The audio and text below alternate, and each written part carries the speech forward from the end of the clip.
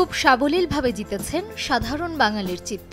ভিন্ন ধারার ম্যাগাজিন অনুষ্ঠান আর সহজ উপস্থাপনা তাকে দর্শকের একেবারে কাছাকাছি নিয়ে গেছে। যেন আপামর জনতা যা বলতে যায় তার সবটা তিনি আগে থেকেই জানতেন। তাই হাসি ঠাট্টায় বাস্তব সত্যটা তুলে ধরতেন অনমনীয় সাহসিকতায়।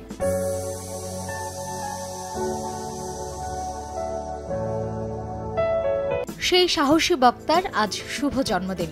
তিনি একাধারে একজন পরিচালক উপস্থাপক, লেখক ও প্রযোজক। উনিশশো আটান্ন সালের তেইশ অক্টোবর বরিশালে জন্মগ্রহণ করেন হানিফ সংকেত।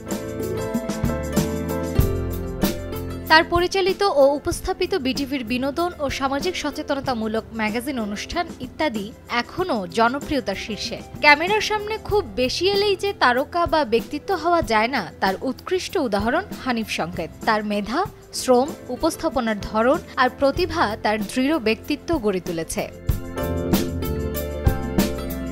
প্রয়াত ফজলে লোহানির যদি কিছু মনে না করেন থেকেই তার ম্যাগাজিন অনুষ্ঠানে হাতে খড়ি। আশির দশক থেকে শুরু করে প্রায় দুই যুগ ধরে তার পরিচালিত ও উপস্থাপিত অনুষ্ঠান ইত্যাদি দেশের জনগণকে আনন্দ দিয়ে যাচ্ছে। হানিফ সংকেত ইত্যাদিতে কেবল হাস্যরসকে তুলে ধরেন না, সামাজিক অসঙ্গতি, দুর্নীতি বিরোধী কার্যক্রমও তুলে ধরেন।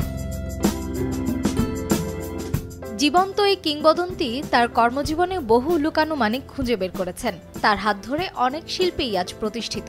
অসঙ্গতির সাথে সাথে সমাজ থেকে কুসংস্কার তাড়ানোরও চেষ্টা চালিয়েছেন তিনি। ইত্যাদি ছাড়াও তার ঝুলিতে রয়েছে নাটক, সিনেমা। নাটকে নির্দেশনা দিলেও অভিনয় করেছেন চলচ্চিত্রের পর্দায়। তাছাড়া বেশ কয়েকটি ব্যঙ্গ ও রম্য রচনা লিখেছেন এই ব্যক্তিত্ব।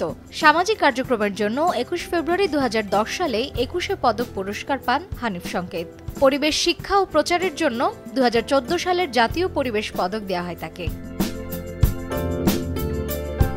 মার্জিয়া শ্রেয়া, সময় সংবাদ।